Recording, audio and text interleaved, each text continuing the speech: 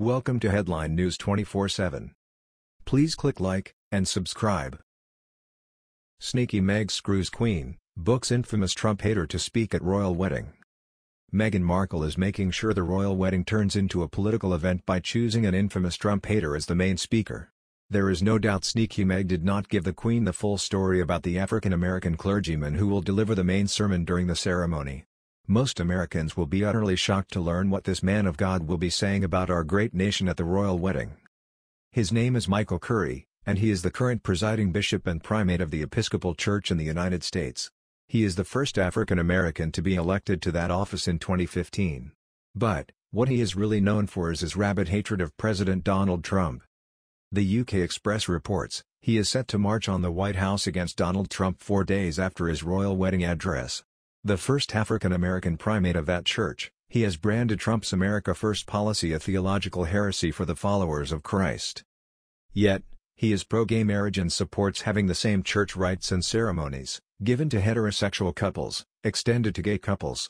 In essence, he is all for condoning gay marriage as a holy right from God.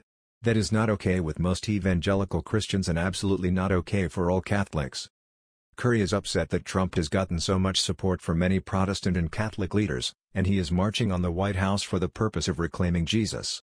He wrote a scathing statement, summing up his main talking points, which no doubt he will work into his royal wedding sermon. We are living through perilous and polarizing times as a nation, with a dangerous crisis of moral and political leadership at the highest levels of our government and in our churches, Bishop Curry wrote. We believe the soul of the nation and the integrity of faith are now at stake. He continued, We reject the resurgence of white nationalism and racism in our nation on many fronts, including the highest levels of political leadership. We, as followers of Jesus, must clearly reject the use of racial bigotry for political gain that we have seen. This guy is a total political hack, and that's proven right in his statement. In a paragraph on the most vulnerable children of God, he absolutely leaves out any mention of abortion. Instead, he uses his bishop's mitre as a political thule, writing, we strongly deplore the growing, political, attacks on immigrants and refugees, who are being made into cultural and political targets. How can a Christian bishop write about the most vulnerable children of God, yet not one time mention abortion? Instead, every paragraph in his statement is directed at highest political leaders, meaning the Trump administration, and he is calling them racists, misogynists, and xenophobes. His statement is sick and reads like a liberal guide twisting his take on Christian values and turning them into political weapons to be wielded by the left. Anyone who voted for Trump is indicted right along with the president. Christianity Today reported that the choice of Curry is odd for a royal wedding, especially since neither Meghan nor Harry has ever met him.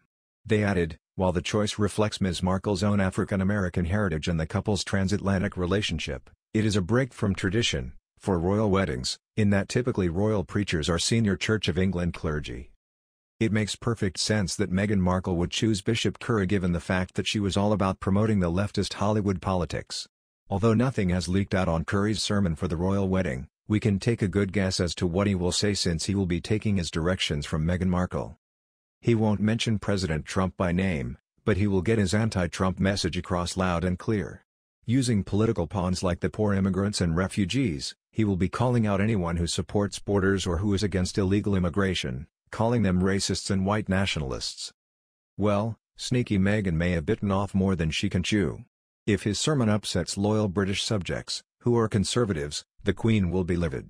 If it is viewed as political in any way, that would go against all royal protocol.